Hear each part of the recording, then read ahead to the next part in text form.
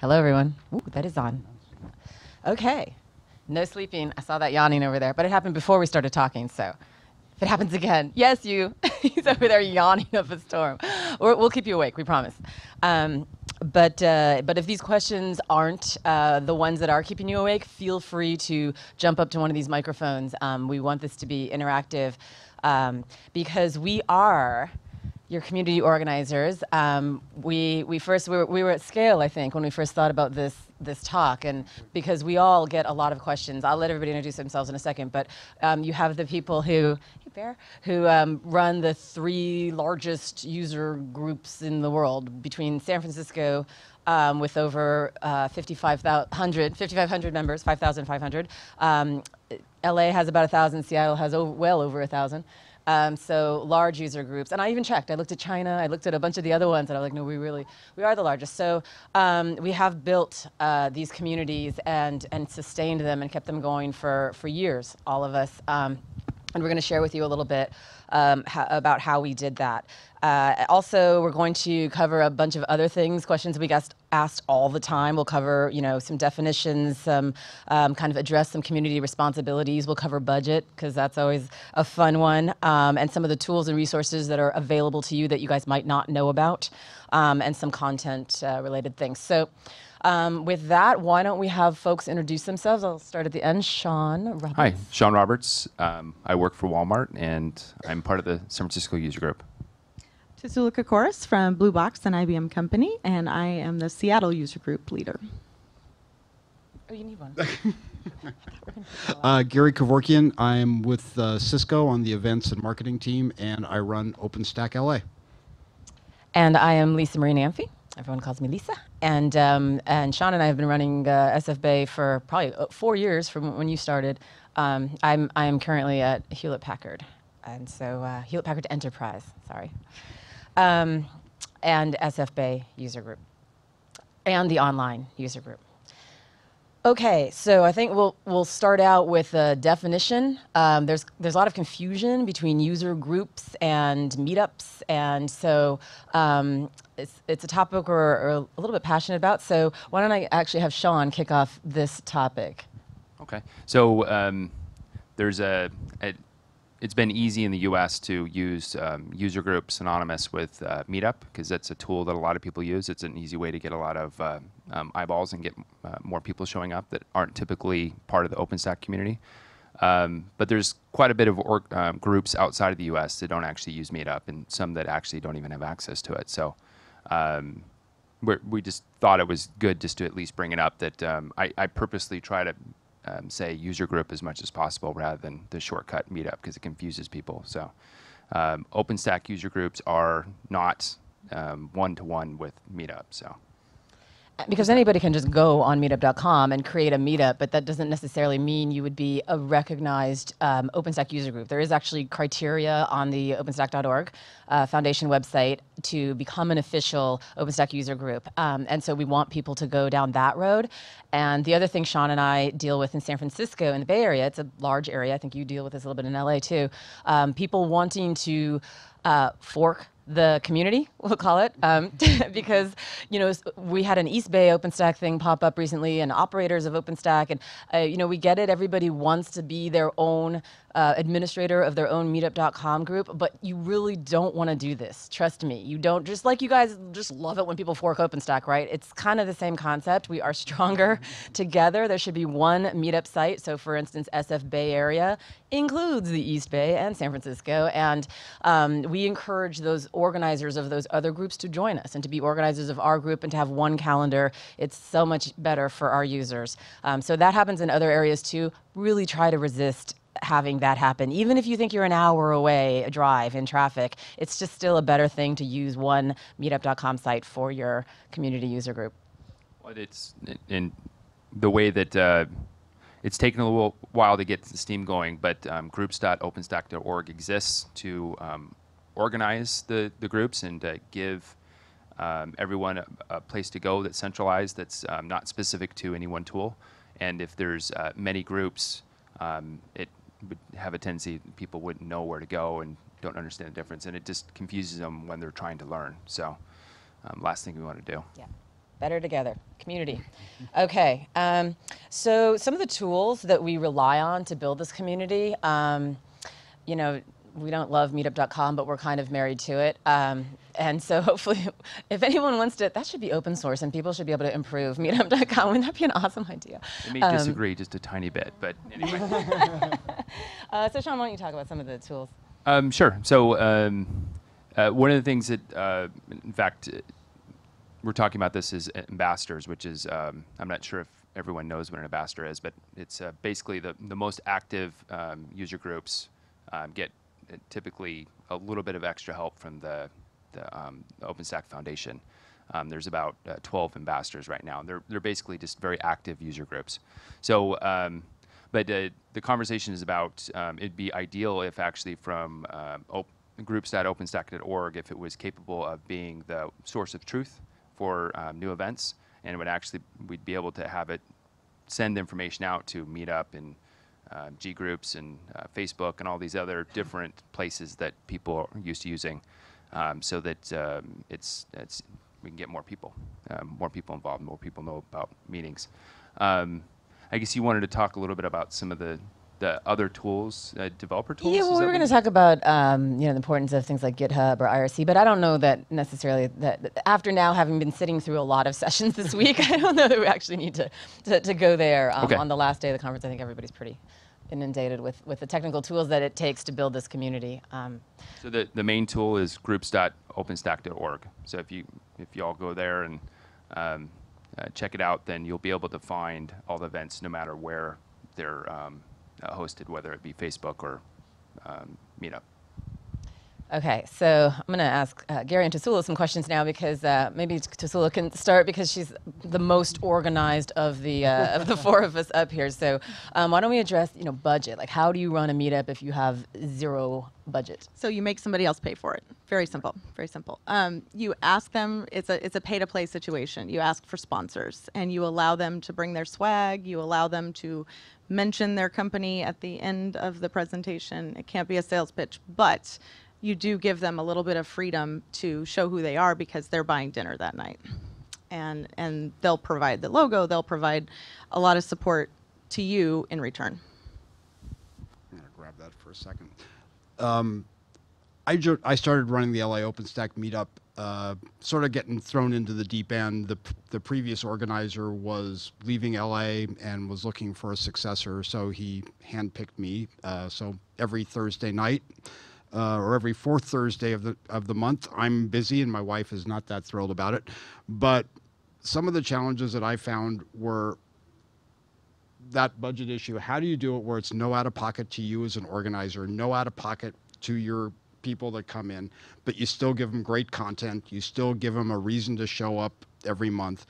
And one of the things that I learned, and actually dealing with HP early on, was a lot of the companies that we work with and have had come in actually have community outreach programs. And you can find the right people within H, like for example, I'll use HP as the example, that not only did they send a presenter, they sent you know, obviously paid for dinner in the pay to in the pay to play model. They sent swag. They sent a raffle gift. They sent down a laptop to be raffled off to my group at the end of the session.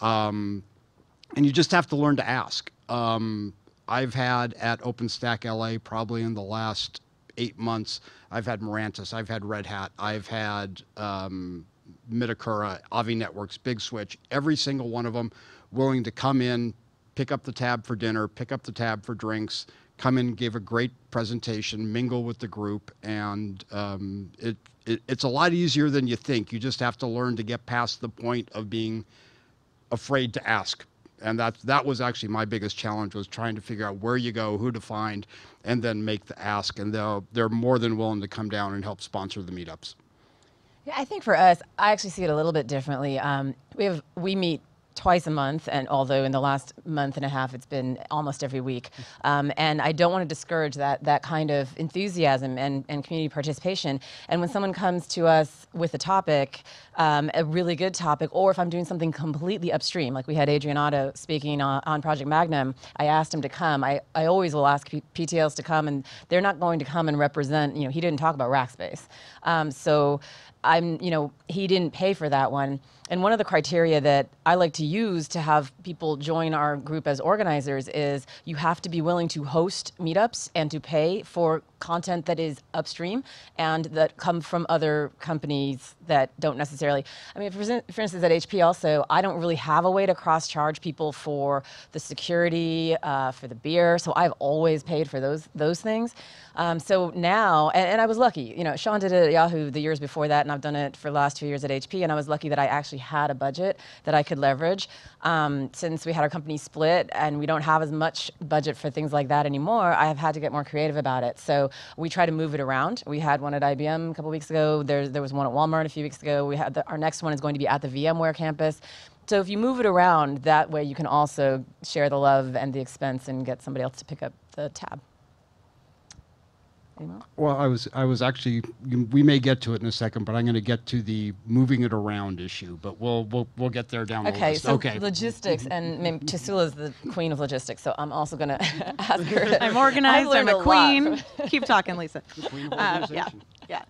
So logistically, I am the one that that like kind of took the reins and and have not have not stopped refining my program to make my life easier. It was purely selfish.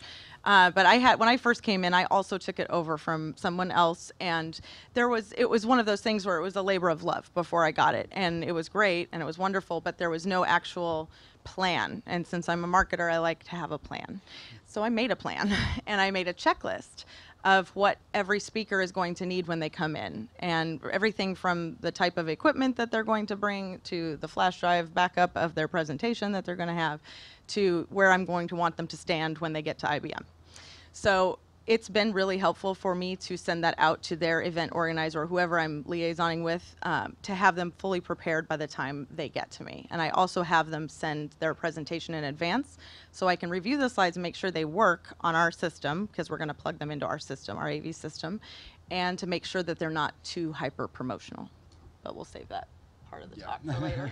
Go ahead. Want to, want, to, want to just dive into that one right there? Or? Yep. Okay. Um, one of the things that I, it took me a while to get accustomed to was being able to tell a presenter that what they want to come and do is not right. Because I, anybody who has been to, you know, especially something like an OpenStack meetup, um, the developers, the coders, the, the guys that are running OpenStack in businesses are going to run like rats when you turn on the light in a garage if someone comes in with a real salesy presentation. So it took a while to be able to help, you know, even as I reviewing their presentations, just like Tassoula does, to be able to have someone tone it down. And I actually periodically have to moderate a presenter when they sort of send me one thing and then show up with something else. And you have to get you have to sort of get them back on track. And you know by probably sort of segueing into where we're going with content and what we like to see. But you know my sort of stuff is under the hood lessons learned you know take a technical deep dive on something show the people show the attendees something they're not used to seeing and taking them sort of behind the curtains and showing them really what's making OpenStack tick and what's making it easier for them to deploy in their businesses. Yeah, so I would just add um, one of the things that um, early on when I was at Yahoo and um, I was uh, working to build um, a culture around OpenStack at Yahoo, and that was um, my ulterior motive. Um, also, we needed somebody to run the, the, the group since uh, the person that was was moving on. Um, that uh, um, I organized a bunch of hackathons, and it was actually um, we focused a lot more about um, writing code and how to commit. So um, I trained a lot of people. Um, uh, one of the things we did is we tried to find people jobs. It was you know it was pretty much just guerrilla OpenStack. So um, then as time went on and things kind of evolved a lot more, we started bringing in all the local PTLs or core reviewers. Um, like we've had recently, we've had Mike Perez, we've had Adrian Otto, we've had bunch of different people. Morgan, We're yep. fortunate that these people are in the area. Yeah. So um, if you do know Or they'll of fly in. I mean, they- have folks fly yeah, in. people will. That's definitely true. Uh, but even better uh, to help build the local community, that if you know that you have um, core reviewers, doesn't have to be a PTL, but or somebody who's a really active contributor in your neighborhood, you know, ask them to speak. you know, do it as much as they can, they feel comfortable doing it. people really like the it is all about the content and we used to um, toggle between having beginner sessions and advanced sessions. It kind of that's why we were doing it every other week. Um, and it just got too complicated to try to do it that way. But now we just really publish what the content is going to be ahead of time. So a couple weeks ago we had a couple of cores from keystone come and speak and it was a very very technical discussion. And so we even gave our user group homework before. We're like go to this website. It's because we knew uh, you know if you were a beginner or if you were just there looking for a job you know, this was not going to be the meetup for you. And and every time before we do a meetup, I stand up and I talk about what the next five meetups are going to be. So people do get to know what's coming ahead. And on that one especially, I was like, "This, we're going to go deep on this one. It's going to be very, very technical." And so many people came up to me after that meetup, and they were so grateful for that level of content. So I would say, you know, go as deep as you as you can. I mean, that's people are in this industry because of the technology, and so um, don't be afraid of the of the seriously deep technical dive. Maybe not every time, but um, and then just let your community know that that's what's going to happen. Um, I have a few more questions, but I, if there's any burning questions from the audience, uh, we can take those, or not burning questions. Any Smoldering. small, questions? any Smoldering sizzling questions? oh no, no questions yet. Okay. Maybe I should start Here we asking the audience here questions. So um, I, I see somebody from uh, HP, Cisco, uh, IBM. You're also hardware sellers. I mean, you said don't let a vendor go specific into their product, but what if you wanted? So okay, Dell has here's their solution. Well, here's and have somebody from HP and give their architecture solution, or any of the other. I mean, if Mirantis comes in, you know they're going to be talking about fuel. I- Is, do you find that that's okay, or if as long as they people know up up front? Yeah, I I usually tell the presenters, you know, keep your keep your slides community oriented, upstream. But obviously, if you're going to show a demo, it's probably going to have your company logo somewhere on that demo. You know, and and, and if the demo is, is interesting technology and it is relevant to OpenStack, we get a lot of requests for things that Sean and I have to say. What what does this have to do with OpenStack? But if it's relevant for OpenStack, then uh, of course that's fine. And with the swag thing too, at first, um, when I first started hosting it at HP, I was a little bit careful about just passing out swag because I didn't want it to seem like it was a big marketing event. Um, but after the community was coming over and over again and then was trusting us, turns out they love swag. We've given away a lot of T-shirts, a lot. yeah, there's been Those a lot glowing content. cubes, my kids love them, so they much I mean, appreciate them. The way I look at it is when I run my meetup, I'm Gary, the meetup organizer. I'm not Gary from Cisco. I run I run it independent. I run it independently. That's why I don't have an issue with Badges off is the yeah one of the terms. exactly. It's it's a completely neutral environment, and anybody's welcome to come in as long as it makes as long as the content makes sense. Um, I just wanted to- to circle back around on the on the sponsors thing. You know, um, I run the uh, one of the uh, user groups in the UK, and um, you know, we so far over the last uh, what is it, 18 months, two years, we've pretty much had a stable set of sponsors. They're not quite as generous as the sponsors in the US, by the sounds of it. Do you guys have um, a stable set of sponsors, or are you rotating them for each event depending on who's speaking?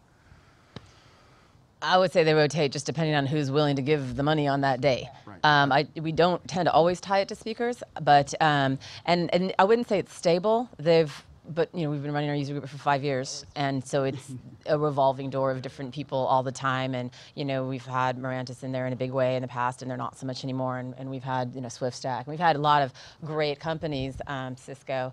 Um, so it kind of goes like this a little bit, and sometimes you have to pass So the hat around. There's a way of fixing that. I'm I'm uh, I'm trying to organ. I had s- I had this uh, kind of air cover from my finance department when I was at Yahoo. Um, so they they cover pretty much anything I wanted to a lar- large extent. So that got me spoiled. Um, now that I don't necessarily have that anymore, um, but I have a version of it at Walmart. So I'm I'm uh, training a finance guy to be um, essentially my banker. Um, and I, I want to do it actually for all of us in the West Coast. Um, And so um, the idea is, Yeah, it. the idea is that we um, we all uh, basically dole in the money, and it gives us some uh, breathing room in between, um, you know, the the peak, the valleys. Uh, but also, um, uh, Lisa has, um, with H, most uh, HP's help, um, and some really great um, or event organizers, organized some awesome uh, birthday parties in the past.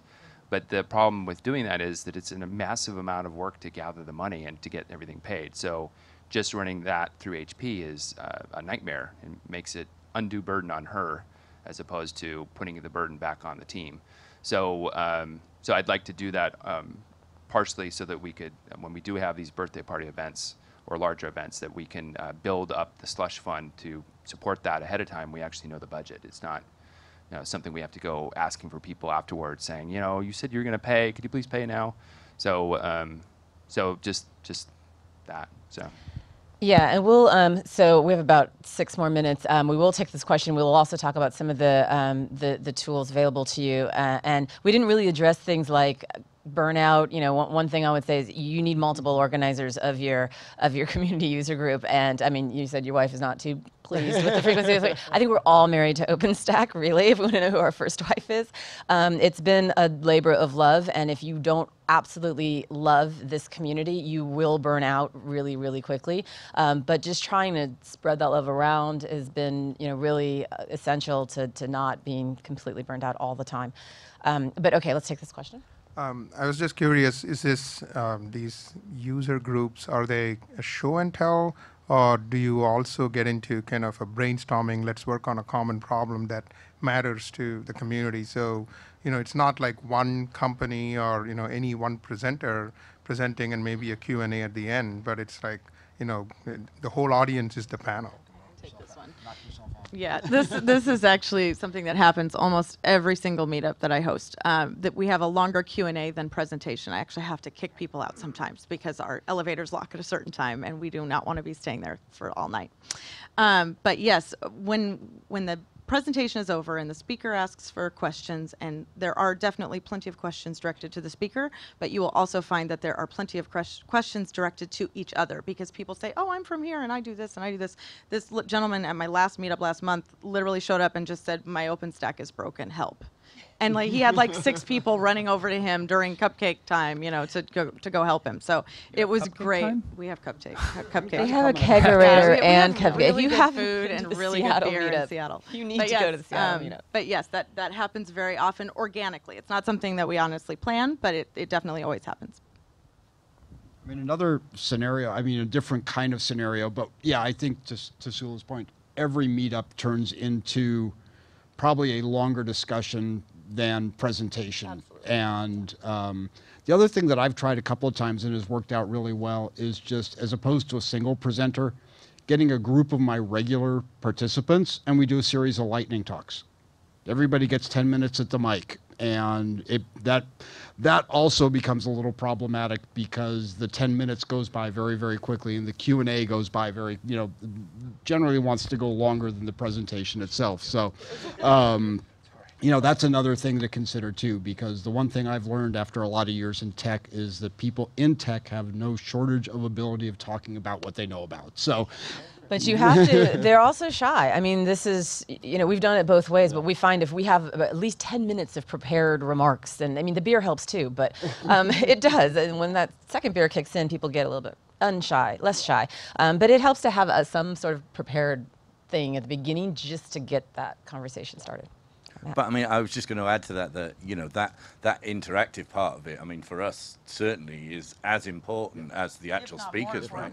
I mean, you know, that we we try not to pack. I mean, we kind of do two two speakers per event, but we specifically have you know a big chunk of time there that's just for people to drink beer and talk to each other because you know that's half the point, right? That's the community part of I'd say it. that's 90% of the point, at least for me. yeah So uh, one of the things, um, kind of pitch something that we've done before. So it's um, it's part of the Upstream University that um, Stefano and Loïc started a few years ago, and it's now um, on the front end of every single conference, which is super awesome. um, so I snagged a little part of it, the the Lego activity. I don't know if anybody's sat through that, but it's super fun. Um, it requires a lot of Legos, about two thousand dollars US of Legos. Um, but I've done it like five times now. Um, I did it at um, a university that I uh, work with on, um, and um, I've done it a few other places, and we, we did it um, uh, last year um, at uh, the OpenStack our user group as well. Why don't you, for those who don't know, it's it's this fantastic game that helps you understand how to participate in this community upstream. We call it the upstream Lego game or something like that. And it's not even So- really a so-called game, but it's a way for people. The Lego is really just a tool that's being used to have people understand how to work together. And I mean, just really quickly, why don't you explain just the three groups? And because you guys should take this idea for your meetups. Um, sure, it's and it's actually on slide um, SlideShare as well. Um, but it, the basic idea is that um, it teaches um, a- agile, agile, method, uh, agile methods. Um, so you, you break up into a, a couple teams um, to create a project, and it's essentially creating a building that's going to be attached to another building. Um, and you have some people that rove, and um, you have some groups act as companies. But the um, and you go through a whole build process, a couple cycles of it. But the the whole point of it really is to not only teach how OpenStack works in a unique way without actually writing any code, um, but it um, it, uh, it it's like a hackathon without code, and that's really um, how I got started getting in uh, the getting involved with the community. And actually, I really want to bring it back. I'm getting to the point where um, I can have enough time to bring the hackathons back. So we can actually have a set time uh, twice a month where people just know if they show up this place, there's going to be some guys working on code, and um, they can help with the commit. They can um, uh, talk about a particular feature that's getting pushed in a project that's um, of interest, and you know we just get that set schedule down. But um, anyway, that it's a lot of fun. Um, I'd recommend it if anybody um, wants to reach out to how it's done. It's it's pretty straightforward. But um, and I'd be actually if somebody um, wants, I could actually even fly out. Um, Walmart is more than willing to have that happen. So. Um, I, I've run it as long as four hours, but um, it can be a little bit less. we It's did it in about two and a half Yeah. that night. So this Yeah, is what we did for our fifth birthday party. Uh, so there were cupcakes, and you probably saw some pictures of it scrolling through on Gary's slides. Yeah, the the biggest um, the the bi- well the biggest thing is the the amount of Legos. So I have I have six huge Massive. boxes of Legos. Um, my kids love it actually. um, so uh, and it uh, you know you could if you wanted to if you wanted to do it over again you could um, a region could maybe pitch together get a couple of sponsors to help them buy the Legos and then user groups could share. So we've actually talked about doing that for the East Coast, United States. Yeah, so i- on, in the spirit of sharing content, one of the things Sean and I have been talking about for years, but we'd really love to to get it implemented this year, is a way to share the content that we do out of the Bay Area with the other groups around the world. And so um, I think you started this with the training when we were kind of cycling through the, the Yes. eight weeks of the OpenStack training that you can find on the docs, openstack.org. Um, but we, we do want to have a way to share the slides, to, you know, because presenters will fly out and, and if you if you make the request, um, but you guys are very talented as well, and it's sometimes it's just content that people want. Um, and we do know, I mean, we do. Uh, one of the questions we didn't get to was, do we Google Hangout or do we not Google Hangout? like we have to Google Hangout because we have people from all over the world that that pipe into the SF Bay one because of the content. Um, but we want to find a way to share that content with the other user groups. So we're going to work on that this year. And if you have ideas, then ping us. So- Just out of curiosity, how many of you have ever been to a meetup or a user group for OpenStack? Yay. Good. Okay, good. Good. Has anyone not? Ah, okay. Okay. No. So one of the reasons I haven't is because it's a couple hours away, so the Google Hangout idea is neat, but I think I'll drive a couple hours anyway. Where? What area are you based in? Atlanta area, but two hours east. Ah, okay. So Doug Hellmann ran that one for a long time uh, with Keith Berger, and uh, yeah, It's pretty robust. they're awesome. Yeah. Yeah. but they're looking at doing um, in uh, what is it called, Buckhead or Bucktown? Buckhead is part of Buckhead. Atlanta. It's a- Yeah. it's Okay. Atlanta. So I think End. the maybe the Red Hat office there is going to start hosting it. I don't know if that's closer to you, um, but ping Doug Hellmann. He's a great guy and he runs a great community. Yeah, and over you'd there. be surprised how many are out there. So if you live in a place that's not a real big city like where all of us live, i- i- just look for it and you'll probably find it. Uh, Matt, I'm curious, where in the UK are you? Where in the UK? Uh, in Manchester. In okay, north so you so you've got a pretty you got a pretty big community. Yeah, I mean Manchester's a big tech hub, so you know there's a lot of a lot of people there, and you know a lot of people working for people like Red Hat and stuff from home. So you know we've got a quite a good spread of, uh, and the UK's not that small, so you know lots of contributors who are living in the UK. It's not that much hassle to travel to Manchester. You know, it's not like the states where you're going coast to coast or whatever. It's Manchester was one of the first official user groups. Actually, they got your designate before we did. We, we were a little bit lazy about it, but but you guys you guys are up there. So congratulations. Who else runs user groups? Community organizers. Okay, give yourselves a hand because wow, it's hard. It's hard. Yeah, seriously, good job. Well done. Where's your user group? South Florida. South Florida. Okay, and Philly. Oh, I want to go to the Philly one. What a great town. Not that I don't want to go to South Florida, but that's always awesome. But Philly, oh, we should do another. commu- We were going to do the Operator Summit in Philly last year. We didn't do that. What happened? Who's mid-cycle? The Operators mid-cycle? It was in Philly? That was two years ago. Yep. Yeah, yeah, because we was in Palo Alto last year. I decided not of- to travel. We spend a lot of time working out of suitcases. We, yes, we do. Okay, so any other questions? Because I think we're at the end of our time. About three minutes. Oh, okay, we got the I think two so, minutes. Till five. I don't know. Um,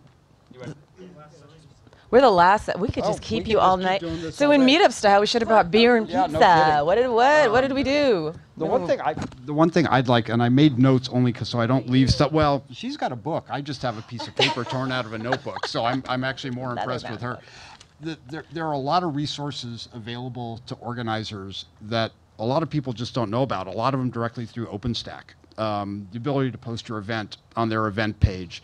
Um, what Sean was talking about a couple of minutes ago was the difference between a recognized and I don't, I don't want to call them independent, but there's, there's a new process that OpenStack has instituted to get your group recognized by OpenStack that makes you eligible for additional things that they can help out with.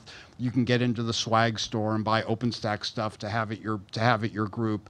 Um, they have a little stipend in the month of July, which is the OpenStack birthday month, and recognized groups get a small chunk of cash. to Very their- small. Well, I, well, this shirt is from my July from my July birthday meetup last year.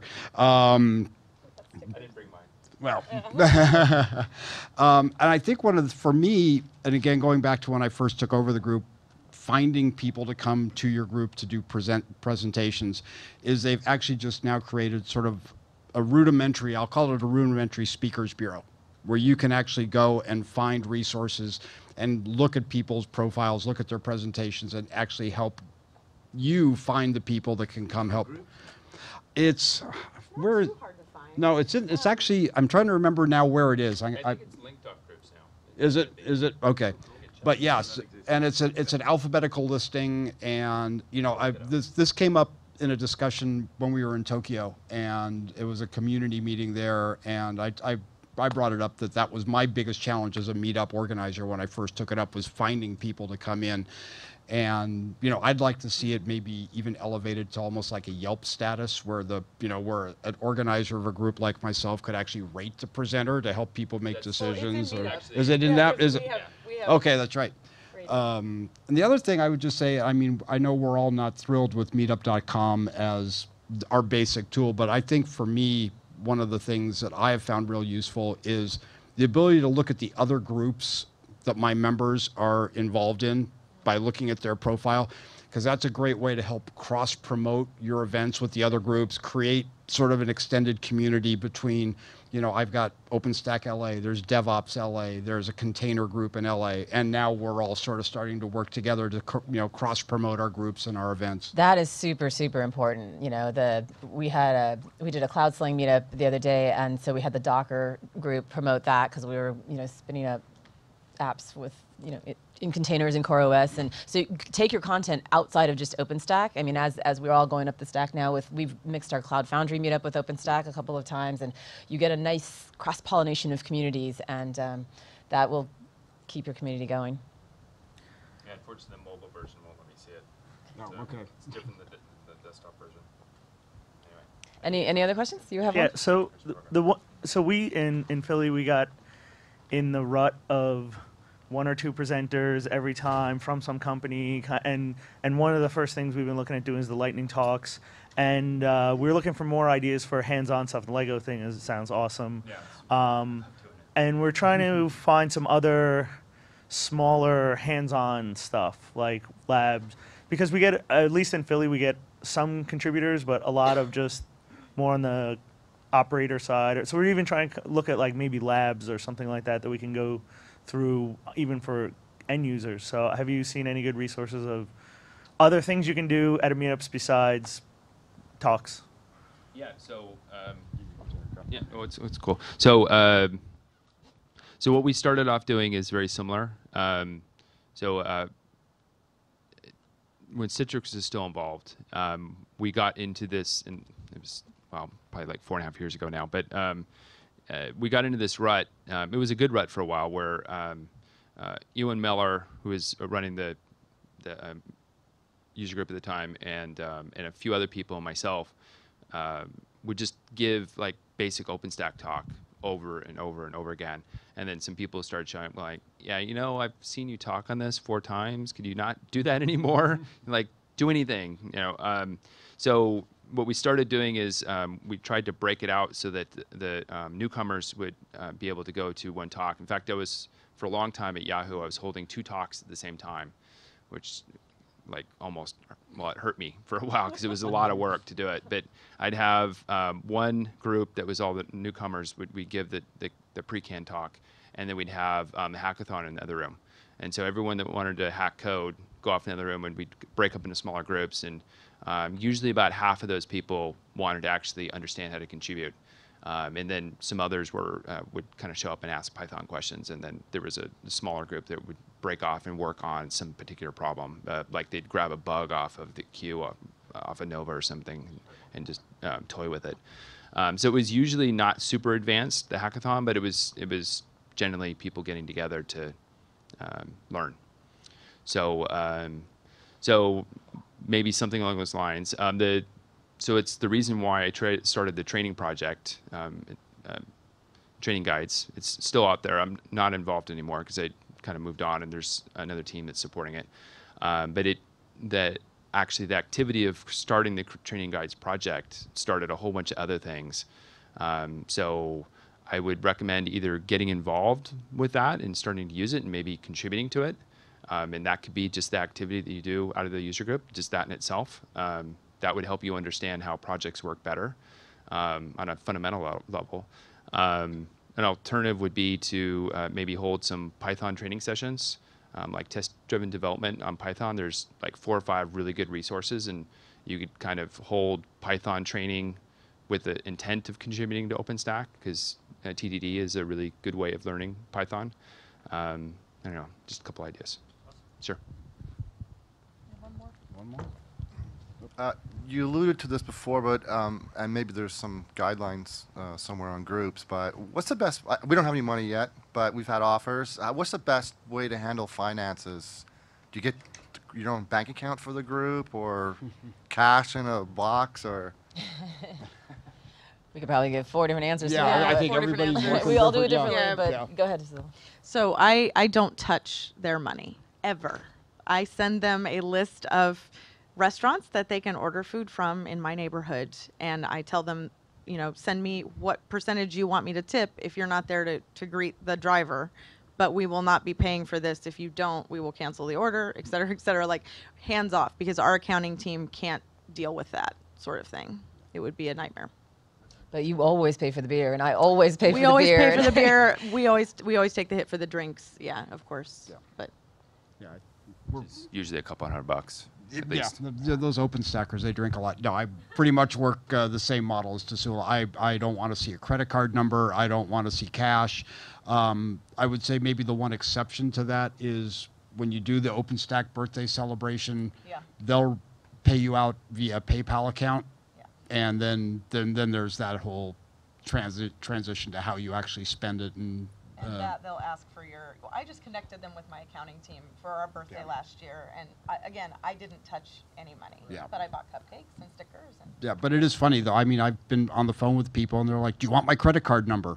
Well, yes, I do, but you know, not for why you want to give it to me. Um, but yeah, so I generally try to stay away from that as much as possible and just let them take care of that. And honestly, that's one less thing I have to deal with. And all I know is that at 6:15, the food for the meetup's going to show up. It's taken care of. And yeah, the other part of that is the person who is presenting probably is as distanced from that part of the process as possible. So it just makes life a lot easier.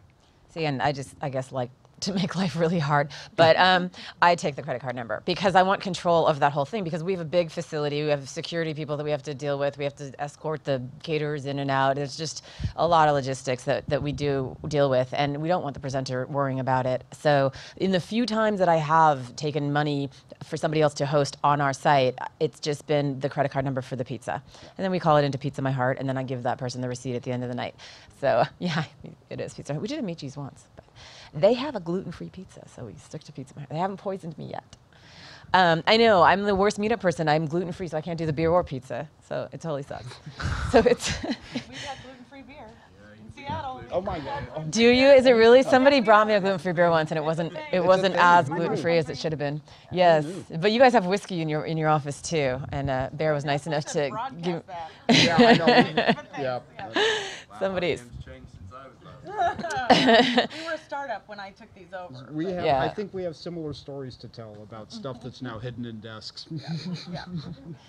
I will say nothing. Um, um, so, and I, I mentioned before that uh, I'm training one of our finance people to be my banker. So, um, with intent to take this burden off of all of us because it's a pain. Um, so, I was lucky enough at, when I was at Yahoo and I got it started that um, that uh, it was they were very very flexible. Um, it allowed me to do all kinds of things. So I I could pay for pretty much anything. Um, it's not as much the case, and I, I technically don't want to actually deal with the numbers and the details either, because it's um, a finance person is much better at that. So I did some of that before. Um, I wouldn't recommend it. Um, so anyway, so if you can if you can start training your own finance person to uh, say, hey, wouldn't you love to take this on? It's going to help the business. It's you know, go How many the- people the do you whole have at your meetups? Well, we have 77 that are registered. We get maybe 15, but I think I've, I got even uh, communications from them saying, "Uh, I just signed up, but I won't be able to be there for another two or three months because I'm on the road or something like that. So we started in November, last November. So I mean, 15 people. You can also just go to a restaurant You'll or meet at a bar. Or Yeah. right now we're yeah we're going to uh, it's it's not a bar, it's an outside beer place that. Yeah, and then everybody kind of pays for their Awesome. own, and that's Yeah. That's most the meetups way. started that You know- way. Then you don't have to clean it up, which I is know, also yeah. nice. Yeah. They said you guys can have those tables outside every you know first Thursday and just put your sign up and. Awesome. order Yeah, you'll grow Tip your fast. waitress, Trust me. moving I on. I Cool. took over LA OpenStack and we were 400 members, and that was just two years ago, and we're approaching a thousand now. So you, there is a big demand for knowledge, and I don't know where how yours works, but I usually get about 50% of my regulars. And then about another 50% of just newcomers each time, just wanting to learn more. So it, it'll grow, trust me. I, I know. I'll, I'll be patient. It's, it's a lot of fun. It's uh, you know I love OpenStack to spread the knowledge. It's, it's a lot of fun. It is a lot of fun. That's the most important thing. Ha- have fun with it. It's a community. One of the questions we didn't get to is like, what do you do with the, the heckler in the room? How do you manage, you know, crowds? And yeah, so we and we can have fun conversations about those things uh, later. Uh, when we have our next round of whiskey, Right, ex- When we I'm hit the- I'm ready, I'm right. ready. um, but there's all sorts of tips and tricks and, and things. Once it grows and you start, you know, we have about hundred people that come to our meetups pretty pretty regularly. Um, so it's but it's important to that's that's the community. That's the whole point. So you got to embrace it all, all the quirkiness, all the strangeness. Um, diversity was another thing we didn't really get a, chance to talk about. Really, really important to have your presenters be of very diverse, you know, women, people of color, people of different, you know, gender identifications. That's probably a Seattle and, and Portland thing more than in other parts of the world. But Have you been to LA? Um, true, true. That's right. Yes. Well, Mike Perez used to run yours, so everybody feels comfortable at, at the LA meetup. Um, but anyway, that's super, super important. For I, I have a lot of women come up to me afterwards, or they ping me before saying, "Are you going to be there?" Because like I'm going to go if you're going to be there. Like you, you know, you, made me feel comfortable in this community, and and we're trying to grow our our female population and do things like Women of OpenStack scholarships, and and I talk about things like that at our meetup, um, and it really helps to include everyone. And when you when you sign up as an official group, well, the biggest help was the ambassador. So I had an ambassador sign to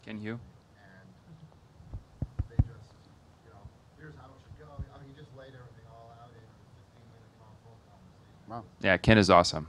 He's he's a good guy. Okay. We're Awesome. way over- we're way. Oh, we're, I know, but you, you know, we're here for you. So Yeah, I got to go to my working group that's that. I'm You waiting for. Speaking of ambassadors, he was supposed to be in the ambassador working group thing right now. Um, but okay, thank you, everybody. Thank you, everybody. Give everybody. yourselves Thank another you. hand. Thank you Thank for you. coming. Yay.